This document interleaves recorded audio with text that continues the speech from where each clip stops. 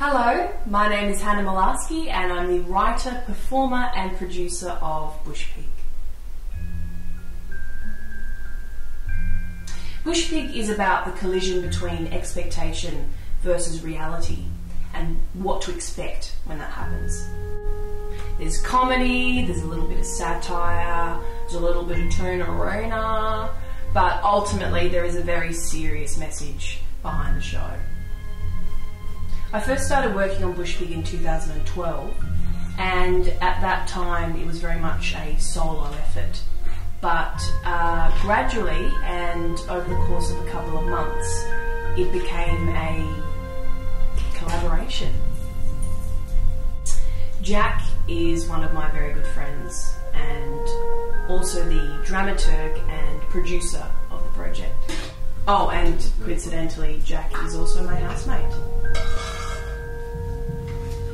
Uh, a lot of what we do as a partnership is often accomplished at home and at very odd hours of the night.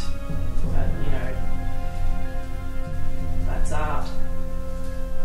At the beginning of 2013, we took the show to the Adelaide Fringe, and a lot of the money that we funded to get it there came out of a Pozible campaign, and I funded the rest.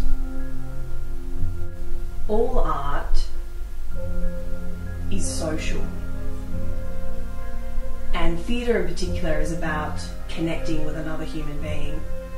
And personally, I, I couldn't imagine not working with Jack. The other thing about independent theatre is that you're ultimately on your own, which is scary. Great. Yeah, looks good.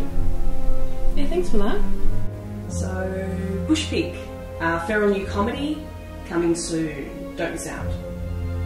And so you're right. Oh shit, you're still blogging. That's all right. Let's go. Okay. Cool. Yeah.